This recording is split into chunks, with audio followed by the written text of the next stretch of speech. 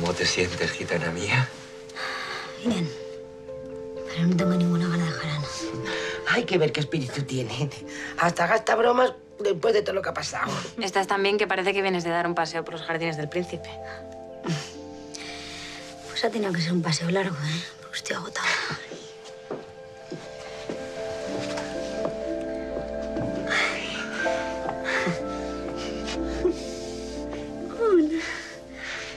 Virgen Santa es preciosa. Es la niña más hermosa del mundo.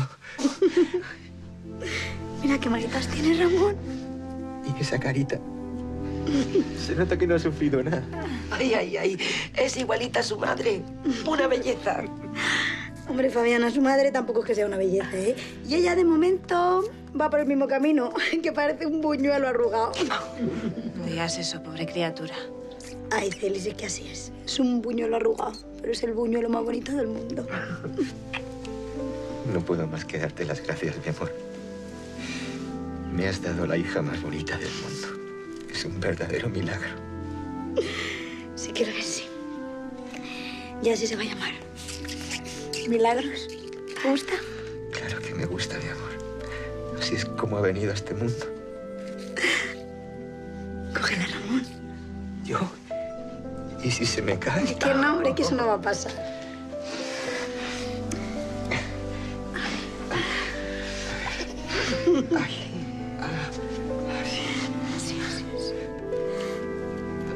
Hola, Milagro, soy tu padre.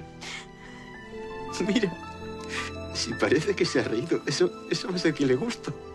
Natural. Tiene un padre de lo más apuesto. ¿Puedo cogerla? Por supuesto. Milagros tiene que conocer a su madrina.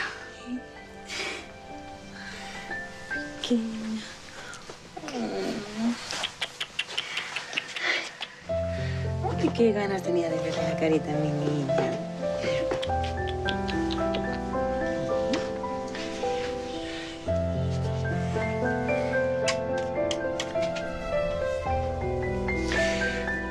Tenemos que darle la buena nueva a todo el mundo.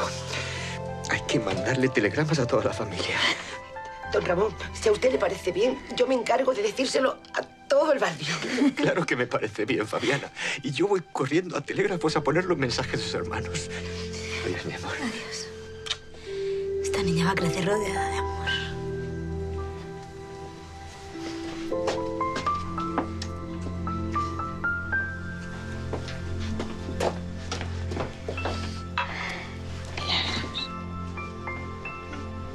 Espero ser